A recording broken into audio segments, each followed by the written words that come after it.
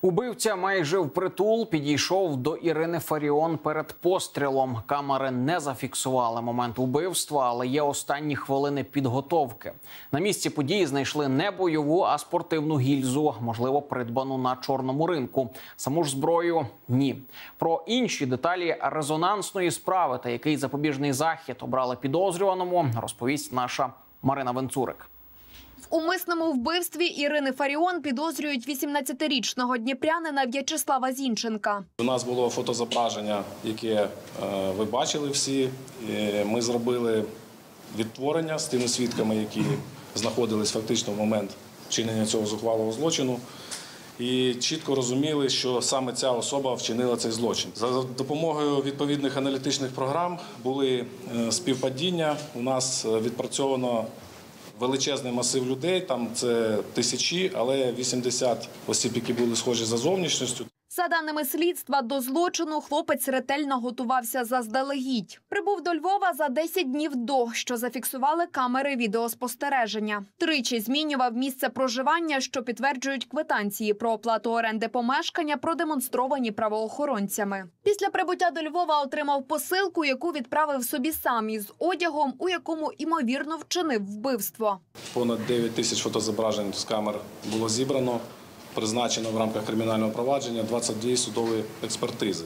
Підозрюваний довгий час спостерігав за будинком, де мешкала Ірина Фаріон, обстежував територію навколо та прокладав шляхи відходу. При цьому змінював одяг та манеру ходи. А в день убивства чекав науковицю поблизу її дому декілька годин, зазначив під час брифінгу міністр МВС України Ігор Клименко. Дана особа знаходилась в такому положенні 2-2,5 години, нікуди не відходив, не їв, не, е, не жував жуйку, е, взагалі не реагував. Камери відеоспостереження зафіксували, як підозрюваний втікає з місця вбивства Ірини Фаріон. Два дні по тому ймовірний вбивця залізницею виїхав до Дніпра, де 25 липня його затримали. Перша година дня е, спрацював е, спецназ. Е, він проживав на восьмому поверсі будинку в місті Дніпро. Проживав, знаходився там з мамою. Коли мама вийшла з квартири, спецназ вірвався е, до квартири.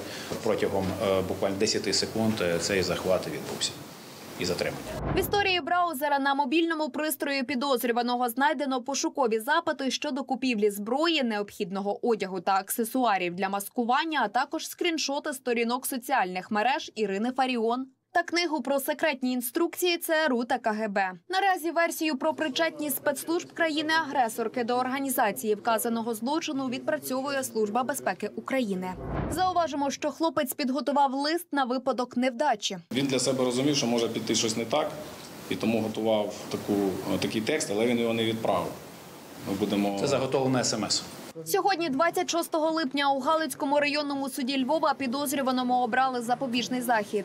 Слідчий суддя ухвалив клопотання задовольнити, обрати підозрюваному Зінченку Вячеславу Федоровичу 3 квітня 2006 року народження запобіжний захід тримання під вартою у державній установі Львівського установа виконання покарань номер 19 строком на 60 діб до 22.09.2004 року, включно без визначення розміру застави. Рішенням суду донька вбитої Ірини Фаріон наразі задоволена та каже, що вимагатимуть більшого. Ми будемо робити все можливе, що він сидів довічно. На даний момент це максимальне, що вирішив суд. Я мала можливість подивитися йому в очі. Відчула, що людина є повна пустота і жодного покаяння. До слова, санкція частини першої статті за умисне вбивство передбачає позбавлення волі на термін від 7 до 15 років. Марина Венцурик, Юрій Кісь, програма Очі.